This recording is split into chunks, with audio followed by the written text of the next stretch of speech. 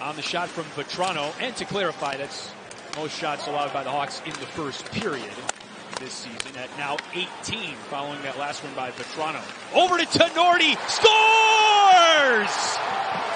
Jarred Tinordi, the defenseman, his first goal as a Blackhawk. And the Hawks are on the board in the first.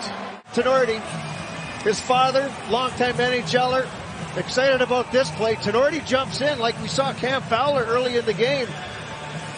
But Tinordi makes a strong move, cuts across the front of the net, protects the puck from Regenda, and he buries his first. Kulikov is batted down by Murphy and picked up by Kurashev with Domi to his right. Kurashev up in the zone. Tinordi lets it loose and a score! Tipped in and the Hawks had the lead. Kurashev was close to the net.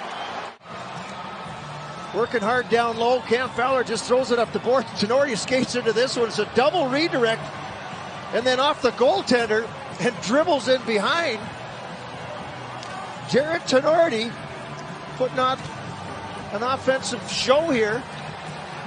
Kulikov, it's an instinctive play by Kulikov just to kick this one as it's bouncing around.